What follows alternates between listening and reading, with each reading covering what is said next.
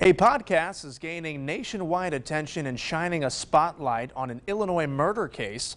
Lauren Bright Pacheco is the writer, executive producer, and host of Murder in Illinois. Lauren joins me now to talk about where the case is at now. Good morning. Morning. Thank you for having me. Absolutely. Thanks so much for joining us today. Well, Lauren, how and why did the Christopher Vaughn case end up on your radar? At the time, I was specializing in true crime for a daytime show. And this case popped up in my news feed. It was the 10 year anniversary.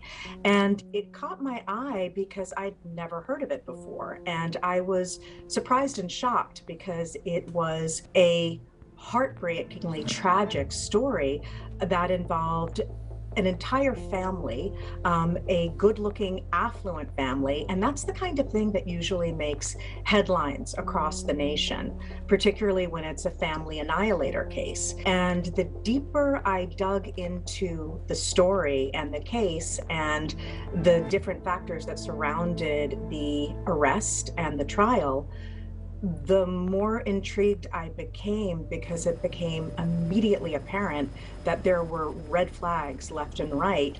And I questioned whether or not Christopher Vaughn was rightfully convicted. What have been the biggest obstacles in revisiting the case? It was a delicate thing to revisit, but as I said, in the beginning, you know, my intention and my integrity always revolves around the fact that if Christopher Vaughn was wrongfully convicted, that was the only thing that could make this tragic story even more tragic. And obviously, there's been a lot of online chatter and criticism about the views expressed by Christopher Vaughn's family in the podcast. What are your thoughts? I understand it, you know, um, but at the same time, I know that we're a loved one of mine accused of what Chris was convicted of. I would be very angry and I would have very complicated feelings. And it's not my job as a journalist um, to monitor or sanitize the viewpoint of the people I interview. It is to present it in a very honest, authentic way. And that's what I strove to do. Well, Lauren, can you reveal any developments in terms of where Vaughn's case stands today?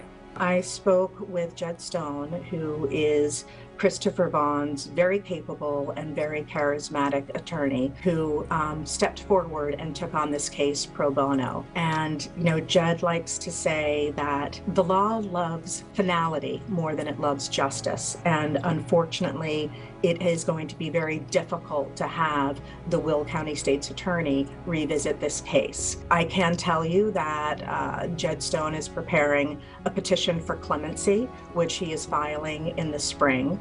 And there is currently a petition for clemency for Christopher Vaughn that has about 5,000 signatures.